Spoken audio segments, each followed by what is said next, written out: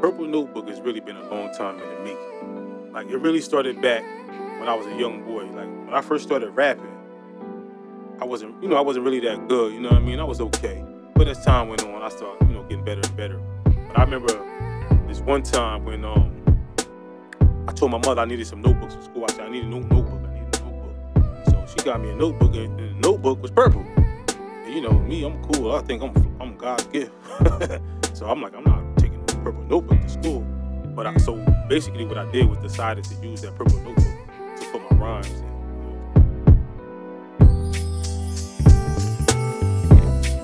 This is that purple notebook. He hot as hell, might as well let his soul cook. Yeah, told these bones you gotta know the rook. He closed his eyes and try to pass like it's a no look. So look, he being sprayed with this pesticide. Thought a pen when he said his dog image. Threw myself in the middle, so yeah, I'm self centered. Tell Prentice next time he hit the Garden State. I'm going with him, even though that shit is hard to face. I draw a trace, drinking yak, and it's hard to chase. These niggas fruity, so yeah, I shots are all straight. They call it fate. I said, nigga, this God's will. Blew a bag on this watch, nigga, cause time heals. Minefield, full of thoughts that's inebriated. They showing love, but in the eyes, I can see the hatred. Yeah, we elated, though y'all don't see us celebrating. Give you my life like it was in the